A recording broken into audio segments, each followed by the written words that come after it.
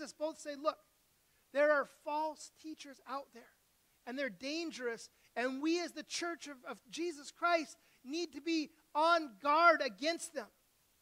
But here's the thing false teachers usually don't come strolling in wearing a big sign that says ravenous wolf, right? They usually don't have a, a, a t shirt made up that says, I am a false teacher. They do it in secret. Right? Peter says they're sly about it. Let me say this I think there are two kinds of false teachers. There are false teachers who know they're false teachers, and there are false teachers who don't know they're false teachers. They're so sly, they've even fooled themselves. There are some false teachers who know full well what they're doing. They're purposely using the gospel for gain. They're lying, they're scamming, they're manipulating people to get what they want. I think there are also false teachers who honestly believe the things that they're teaching. They've been taught wrong, and, and they're sincerely, with integrity, perpetuating those false teachings. And I think we, um, we see this on Christian TV a lot, both of these things. And it's no, no secret that I think that most Christian TV is, just to be clear, revolting and an absolute abomination and a black spot on the church. Just so you know where I'm coming from. Just so there's no, just so I'm clear, right? I, I mean, it, most of it is absolutely disgusting. I think it is the antithesis of the gospel message. There are some of these guys on TV that are getting wildly rich, selling piles of junk on TV, right? All this crap that they're selling. Prayer scarves for just three easy payments of $39.99. And if you wear this special prayer scarf, special access to the Lord because it's, it's been anointed. Or if you send me $25, I'll lift you up in prayer. And if you send 50, I'll, I'll, I mean, I'll really intercede before you, you know, before the throne of God. And, and there's this whole thing where they're just making so much money off of the gullible and the easily manipulated. These are the people that Jesus addresses in Matthew chapter 18, verse 16. He says, Whoever causes one of these little ones who believe in me to sin, it will be better for him to have a great millstone fastened around his neck and to be drowned in the depths of the sea. See what Jesus says about those people? He says, Look, if you lead my people astray, it will be better for you to row out into the sound and tie a giant rock around your head and jump in than to face the wrath, to face what I am going to do to you. Please, don't be fooled into believing in this hippie Jesus, right? This love and peace Jesus. And to be sure, that is a part of who Jesus is. Scripture is very clear that God is love. That's the, the overriding characteristic of the Lord love. Jesus, to be sure, is the Prince of Peace. But Scripture also says that he's a warrior, that he is the lion of the tribe of Judah, that he's the protector of his people, of his bride. Those people are false believers. And the Lord will address that. And as I said, I think there are real Christians and good people who have been deceived themselves. And, they're passing along some of that deception. And, their motives might be different, but it's no less dangerous. In fact, I think it might even be a little more pernicious, and that a lot of times these, these Snake oil salesmen are easy to spot. When people are sincere, it's a little, when we, we can tell the difference, right? And it's easier to believe people who are sincere, even when they're wrong. So we need to be cautious. What did Jesus say again? There'll be false teachers, or Peter, sorry. There'll be false teachers among you who will secretly bring in destructive heresies, even denying the master who bought them, bringing upon themselves swift destruction. Destructive heresies, even denying the master who bought them, bringing destruction upon themselves. Peter says they deny the teachings of Jesus and the nature of Jesus. And we need to be aware of such people because they will be judged in the condemning way by the Lord. We made it through one verse. We're going to pick up the pace because we're going to go through the whole chapter this morning. And you may remember last time we were in it, I said, you know, we're going to, um, it was kind of a short section. We're going to make up for it this morning. So, uh, ladies, I hope you have a snack in your purse for your husbands. Verse 2 And many will follow their sensuality, and because of them, the way of the truth will be blasphemed. And in their greed, they'll exploit you with false words. Their condemnation from long ago is not idle, and their destruction is not asleep. Peter says many people are going to be deceived. Many people are going to be led astray. They will follow their sensuality. That word sensuality, aselgeia in the Greek, this is the definition behavior completely lacking in moral restraint, usually with the implication of sexual licentiousness, extreme immorality. So, the implication here is sexual morality, right? Or immorality is the case word.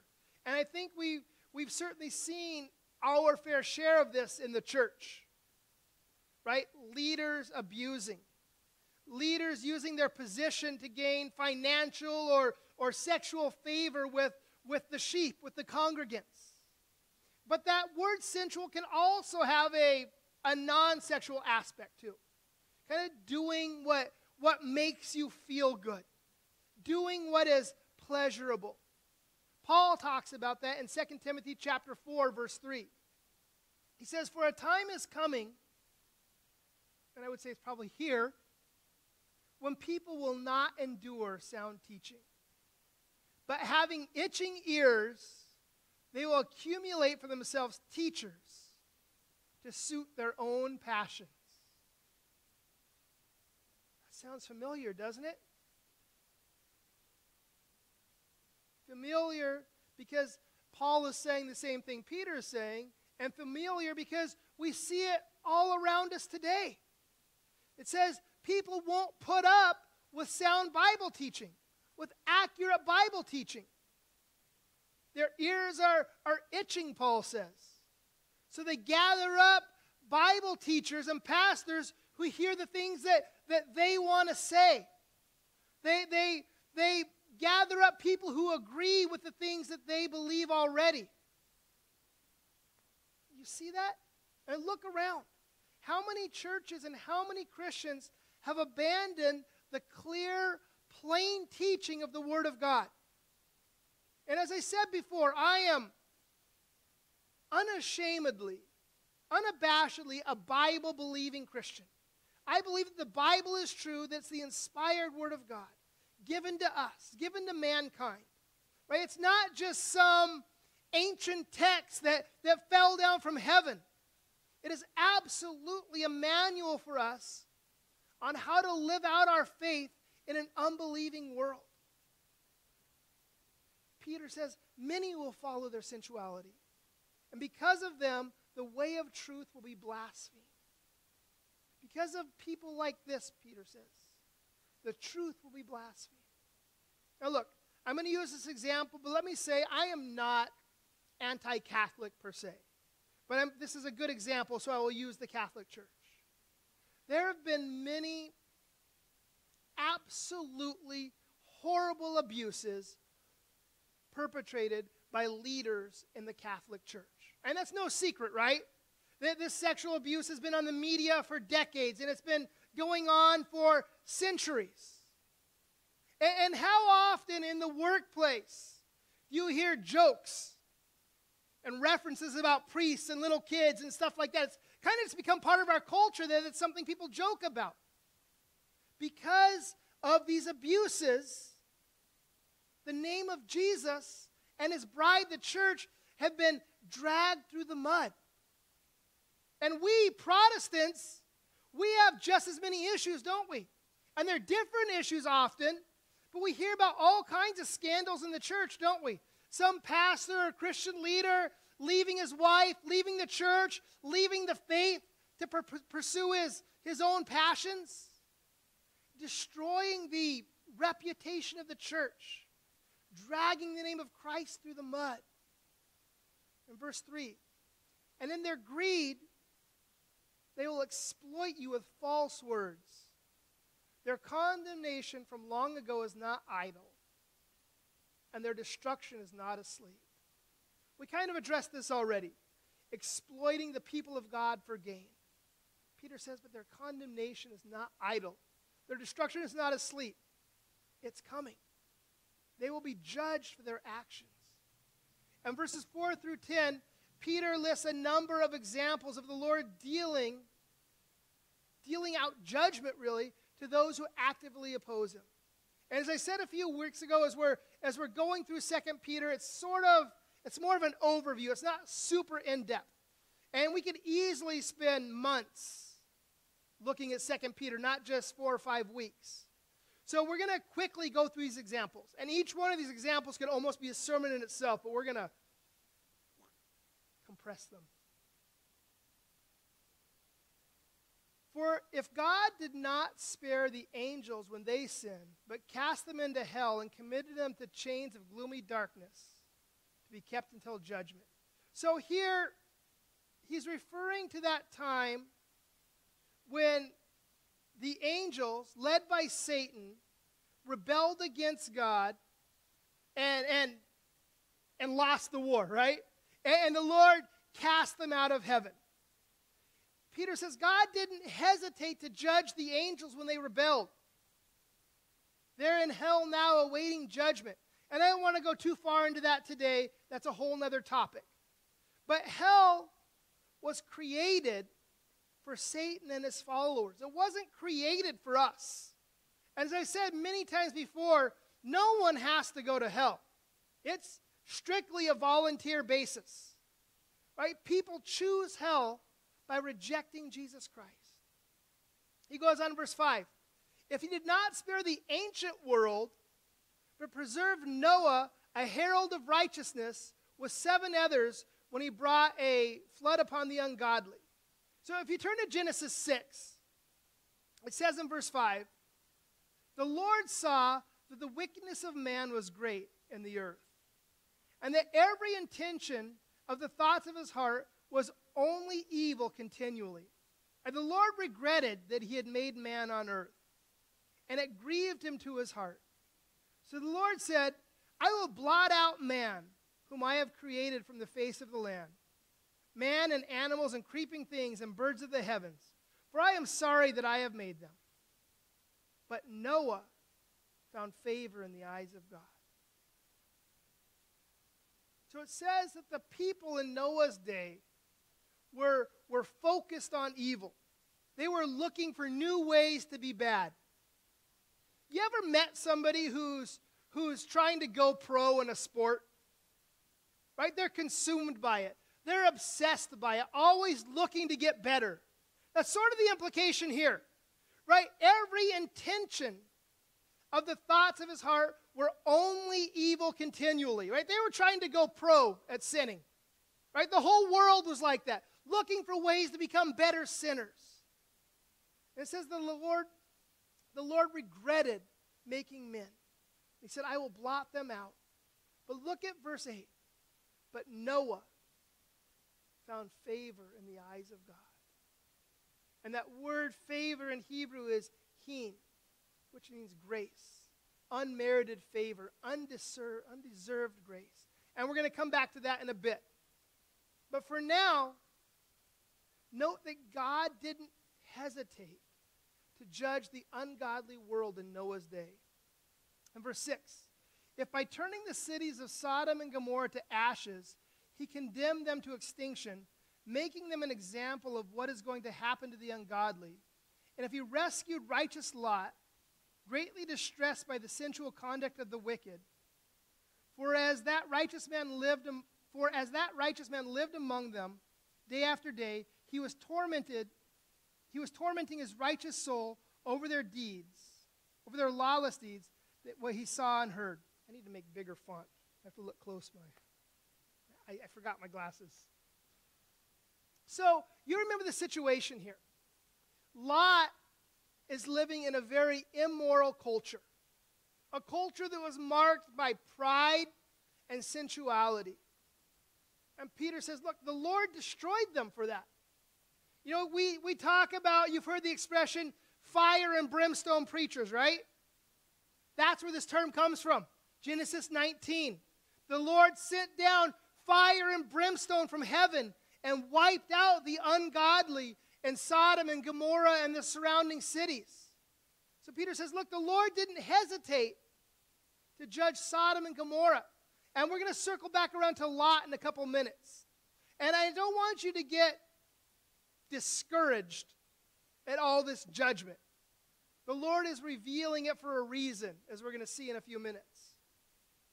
Verse 9 Then the Lord knows how to rescue the godly from trials and to keep the unrighteous under punishment until the day of judgment, and especially those who indulge in the lust of defiling passion and despise authority. Bold and willful, they do not tremble as they blaspheme the glorious ones. Whereas angels, though greater in might and power, do not pronounce a blasphemous judgment against them before the Lord. Again, Peter says, Look, the Lord preserves his righteous people and he rescues them. But he keeps the unrighteous bound until the day of judgment. And he says, especially those who indulge in the lust of defiling passion, and those who despise authority. Those are the people who stand down here on earth, shaking their little fists up at heaven. I'll do what I want, when I want, with who I want. Bold and willful. They do not tremble, he says as they blaspheme the glorious ones. And that term, glorious ones, most theologians aren't sure if that's a reference to the Trinity or to the angels or to both. And it doesn't really matter. But these false teachers willfully choose to mock and blaspheme the name of the Lord and his servants. But these, those false teachers, like irrational animals, creatures of instinct, born to be caught and destroyed, blaspheming about matters of which they are ignorant, will also be destroyed in their destruction. Suffering wrong as the wage for their wrongdoing, they count it pleasure to revel in the daytime. They are blots and blemishes, reveling in their deceptions while they feast with you. They have eyes full of adultery, insatiable for sin. They entice unsteady souls. They have hearts trained in greed, accursed children. Now, I'm guessing from that that Peter was dealing with some of these people already, right? Some of these people are getting led astray, and he's upset while he's writing this. He's a little, he's a little impassioned. He's a little worked up. And he says they count it pleasurable to revel in their sins in the daytime. Peter says, Look, these people are living by instinctive sensuality, being led by their sexual desires, And he says they don't even try to hide it anymore. They do it in the broad daylight. They don't even try to keep it a secret. He says they revel in it. And when I hear that in my mind's eye, I picture a, a pig just rolling around in the mud. And he loves it. Right? Pigs love the mud because it's it's their home. Look, genuine born again Christians end up in the mud sometimes too, don't they? We we can fall in sin sometimes. We find ourselves dirty and muddy and defiled sometimes. But you know what the difference is? The pigs love it. They want to stay there. Sheep, the people of God, they might land there, but they're not happy there. They want to get out. They want to get clean. They want to be restored to the Lord. Do you see the difference there? They have eyes full of adultery, insatiable for sin. They entice unsteady souls. They have hearts trained in greed, accursed children. Peter says these false teachers and false believers have eyes full of adultery. They long for sin. They have an insatiable desire for sin. And they entice others to join them on their path. And it says their hearts are trained in greed. Not just greedy, they're trained in greed, it says. This word trained in the Greek, it's an athletic word. And I looked it up, and I kind of chuckled when I looked it up. Because this word trained, literally, it means to exercise naked. What's the deal there? But it's a reference to high level athletes and the Olympics of the day. As you may know, historically back in Greece, the Olympics were, were performed in the nude. And so that's the idea here, this word trained, this, this discipline of high level athletes. Very often, if you're around, you know, guys who train in mixed martial arts or, or, or jujitsu guys, and they see another dude with a, with a cauliflower ear, say, hey, do you train? You know, when they're asking, do you, do you work out in martial arts? And, and that's sort of the idea of the word here. Right? They're, they're disciplined in their greed. They've, they've systemized their greed. And Paul says, or Peter says, they're accursed. Verse 15 Forsaking the right way, they have gone astray. They have followed the way of Balaam, the son of Beor, who loved gain from wrongdoing, but was rebuked for his own transgression. A speechless donkey spoke with a human voice and restrain the prophet's madness. So, this is a reference to Numbers chapter 22. Remember, Balaam was a prophet. And you may remember the people of God, they're moving through the land of Moab on the way to the promised land. And there's a couple million of them at this point coming through. And, and Balak, he's scared when he sees this massive group of people coming. He thinks they're invading his land. He thinks that they're gonna they're gonna come in and dominate. So he wants a way to stop the people. So he calls this this guy Balaam, and he's sort of mysterious. He's sort of a shadowy character in the Old Testament. We don't know a lot about him. It says he's a prophet. We don't know if he was a if he was a, a Hebrew man or if he's a Gentile or whatever. But Balak calls Balaam and says, Hey, will you curse these people for me? Curse the people of God for me. And Balaam says, Well, I'd like to, but even if you were to give me a whole house full of money, hint, hint, I don't think I could. He says, I'd try to curse them, but, but I'm afraid it just won't stick because they're the people of God. He says, But here's what you can do I can't do anything. But if you send your young ladies down into the camp and entice the men of Israel, their progress is going to stop because the Lord's going to deal with them. And that's exactly what happened, remember? The young ladies went in, they enticed the men, the, begin, the men began to, to worship these false gods with these ladies, and, and all the nation's progress stopped until the Lord dealt with the sins of those people. And so that's what, that's what Peter's referencing here. He goes on to verse 17. These are waterless springs and mists driven by a storm. For them, the gloom of utter darkness has been reserved. For speaking loud boasts of folly, they entice by sensual passions of the flesh those who are barely escaping from those who live in error. They promise them freedom, but they themselves are slaves of corruption. For whatever overcomes a person, to that he is enslaved. Peter says they're waterless springs, mists driven by the storm.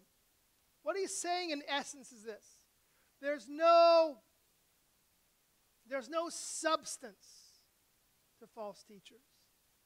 He says they're all smoke and mirrors. Right? We get fog here sometimes, right? And you can see the fog, but there's really nothing there, right? Nothing to it, no substance. Peter says these guys, they speak loud and they make a lot of noise and they entice other people with their sensual passions of the flesh. And look what he says here. Here's the telling part they promise freedom, but they themselves are enslaved. So many times I hear people say something like, Oh, you Christians, you have so many rules. You're in so much bondage. You're so enslaved. Why don't you throw off the shackles of that slavery and be free? Do whatever you want to do, like I do. Don't worry about what the Bible says. Don't worry about those antiquated ideas of, of morality and sexuality and integrity. But Peter says they themselves are enslaved, in bondage to their sins. Paul says in Colossians 2 6, see to it that no one takes you captive. Note that word captive by philosophy and empty deceit, according to human tradition, according to the elemental spirits of the world, and not according to Christ. He says those philosophies and practices of the world lead to bondage and captivity. The world can look at our rules in the church and see them as, as shackles, as ropes that bind. But in reality, they're safety lines. I remember when I was a young man, a few times I was living in Southern California, and we went out to, to Joshua Tree to go rock climbing. And when you go rock climbing, you know, you put this harness on, and you're connected to this rope, and there's somebody else at the other end of the rope controlling your ascent and your descent. And, and that rope and that harness, they weren't to bind me, right? They were to protect me. Sure, they might have restricted my movement a little bit, but it was to stop me from plummeting into my death and splattering on the rocks. It was a good thing. And I think that the world misses that in regards to the rules in the Bible. They're not there to restrict us and, and, and ruin our, our freedom. They're there to protect us and to keep us safe, to stop us from falling and splattering on the ground. For if, verse 20, after they have escaped the defilements of the world through the knowledge of our Lord and Savior Jesus Christ, they are again entangled in them and overcome, the last state has become worse for them than the first. For it would have been better for them to have never known the way of righteousness than after knowing it to turn back from the holy commandment delivered to them. What the true proverb says has happened to them. The dog returns to its own vomit, and the sow, after washing herself, returns to wallow in the mire.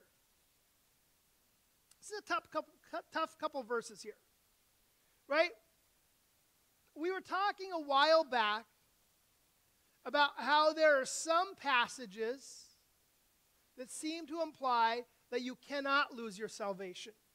Once you genuinely come to know the Lord, you're eternally secure. You're saved forever.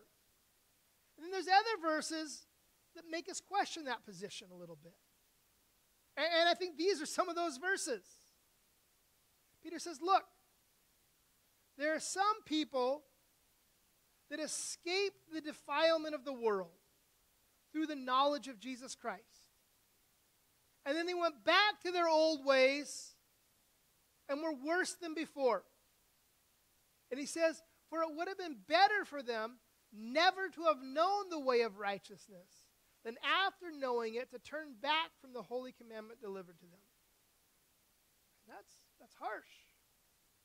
He says it's better for you to have never known the truth than to have known the truth and turned away. And then he gives an analogy. He says, Dogs always return to their vomit. It's gross, but if you ever had a dog, it's true, right? Your dog, he goes and eats some grass. He's four minutes later, he's over there. And oh, he's eating it all up again. What's the matter with you? Or he uses the analogy of a pig. You can take your pig and you can put her in the bathtub and you can scrub her all up and put a little bow on her, spray some perfume on it. But as soon as you let her go, what happens? Right back out in the mud. Because it's home. In light of those examples that Peter gives in other passages, I tend to think that the people he's talking about here were never really saved. They appear to be people who were involved in the church, who knew who Jesus was, who knew the way of righteousness. Maybe they'd even experienced some of the things of God, but they never really surrendered their lives to the Lord. And I could be wrong, I don't know. But it appears to me that way. And regarding whether you can lose your salvation or not, I tend to believe that you can't. But I could be wrong. And I like the old adage live like you can lose your salvation and have faith like you can't. Right? So we moved through a ton of scripture this morning. That was a whole chapter.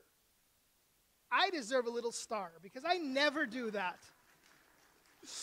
But look, there was a lot of gloom and doom there, wasn't there?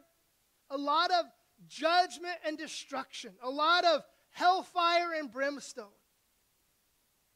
And here's the deal with that. Here's the deal with actually the, the whole of the Old Testament law for that matter.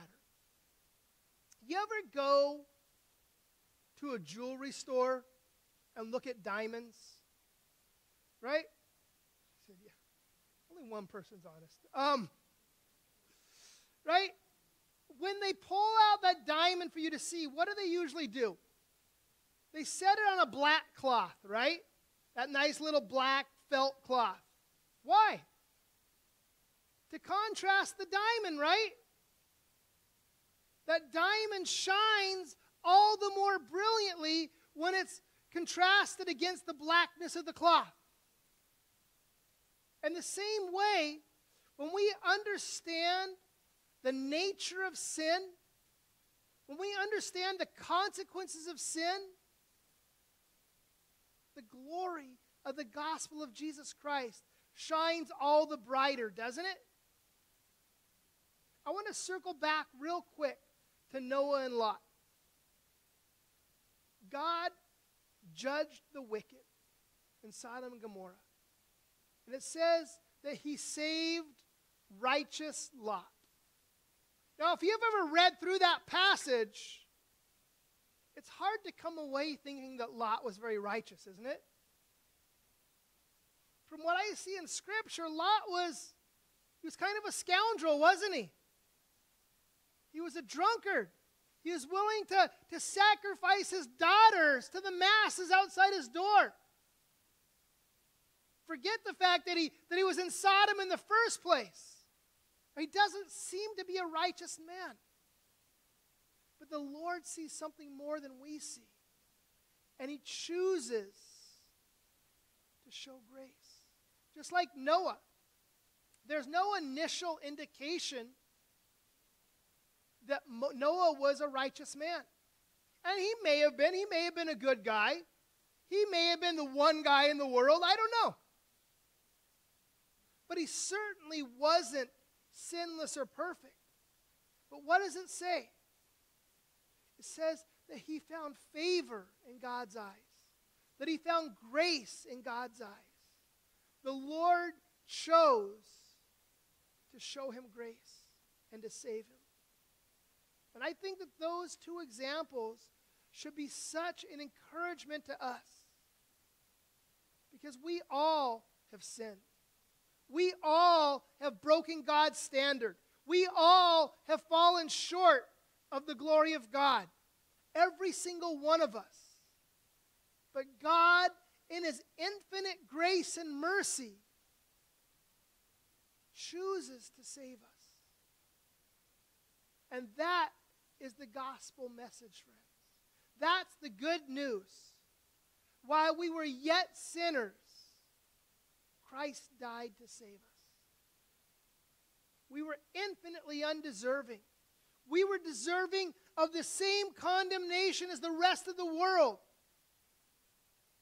But in God's infinite mercy, He called us and He chose us and He saved us. And if you don't know Jesus this morning as your Savior, you're in a dangerous spot. God will judge all who oppose him. God will judge all who reject him. God will judge all who rebel against him. But he will save all those who lovingly surrender to him and ask for forgiveness. And here's the good news you get to pick. You get to pick which team you're on. Will you submit to the Lord or will you rebel? Will you pay for your own sins or will Jesus pay for your sins? Because make no mistake, one way or another, your sins are going to be paid for. It's, did Jesus pay for them on the cross or will you pay for them with your eternal soul? But one way or another, they will be paid for. So I encourage you this morning to choose Jesus, to call on the name of the Lord and be saved, and experience the joy and the freedom that come from walking with the Lord. Heavenly Father, you're a good God. And we thank you for, for showing us the consequences of our sin so that we have the opportunity to, to change our ways, Lord. And Father, I lift up anybody here who, who doesn't know you, Lord. That you would work in their hearts this morning. That your kindness and your mercy would draw them to repentance. That they would turn from their sins, that they would call on your name and be saved. We ask that in your name.